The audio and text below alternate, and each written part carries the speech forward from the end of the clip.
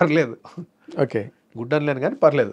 అదే అంటే better space you could learn at least అరే అప్పుడు పొరపాటు జరిగింది మనం Oh. పూర్తిగా పెర్ఫామ్ చేయలేకపోయాం. అన్న ఒక రియలైజేషనే లెర్నింగ్ కదా. అంతే sir.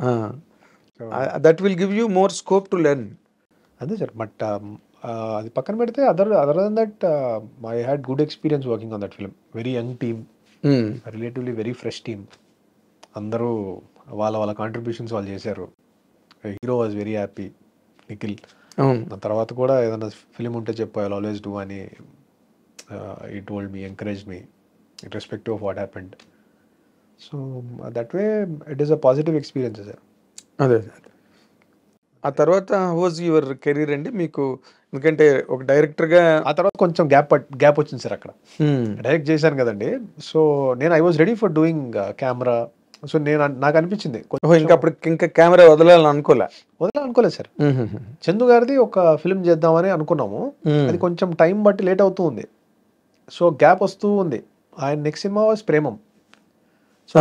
అది వచ్చే బిఫోర్ గ్యాప్ వస్తూ ఉంది. ఆ గ్యాప్లో నో బడీ వాజ్ ఆస్కింగ్ అంటే కెమెరా కోసం మేబీ నేను డైరెక్ట్ చేశాను కాబట్టి అడగట్లేదు. There could be number of reasons అది నార్మల్గా నోషన్ రా కామన్ నోషన్ కదా.